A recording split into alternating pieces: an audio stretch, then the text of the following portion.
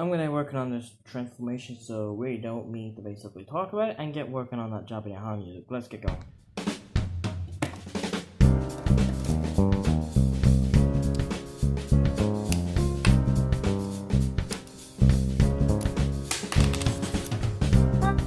Then attach this piece to the back, get to the second part, which is the torso.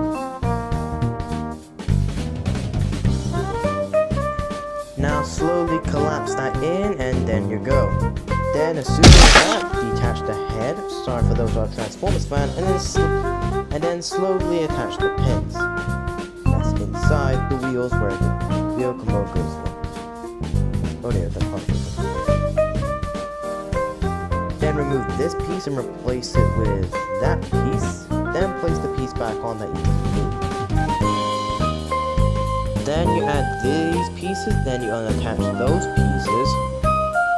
Then you add this piece, which is the top of the cab, and then you're good to go. Then you add this piece in, attach these pieces so that way the whole front part doesn't come off like it's some broken joint. And then you do the same thing with the other side. Then you push that piece down, and then you're almost good to go.